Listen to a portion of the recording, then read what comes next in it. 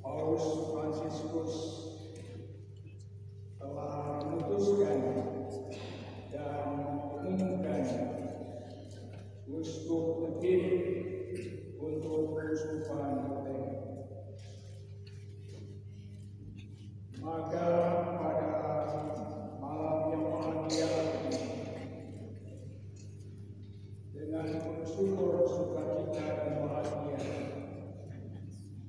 saya atas nama Administrator Apostolik Keuskupan Ruteng Mari mendelegasikan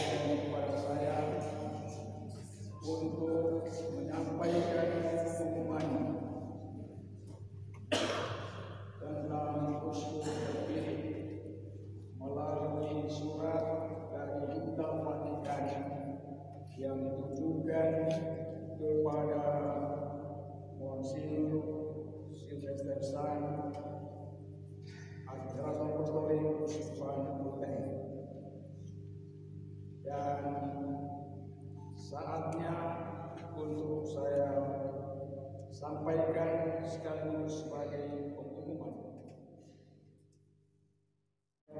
2019 nomor 1390 dari 2019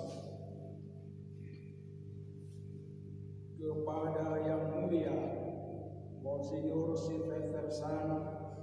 Uskup Denpasar, Administrator Apostolik Uskupan Ruteng. Saya hendak memastikan kepada Anda melalui surat ini bahwa Bapak Suci Paus Fransiskus telah mengangkat Romo Siprianus Hormat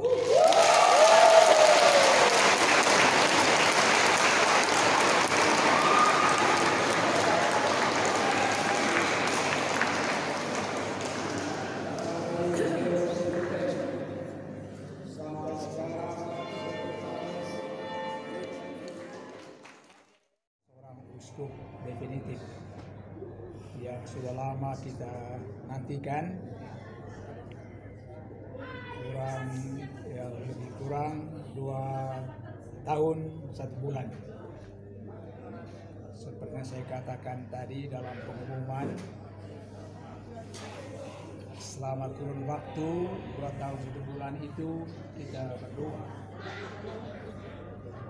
supaya bukan hanya kehendak kita tetapi kehendak Tuhan sehingga kita sudah memperoleh uskup terpilih dalam diri eh, Monsignor Siprianus Hormat. Kita semua sebagai umat Allah di Uskupan Ruteng ini patut menyambut menerima beliau dengan penuh sukacita. Dalam sukacita itu kita semua doa baik bagi beliau supaya bisa memimpin kuskupan ini dengan sebaik-baiknya dengan penuh bijaksana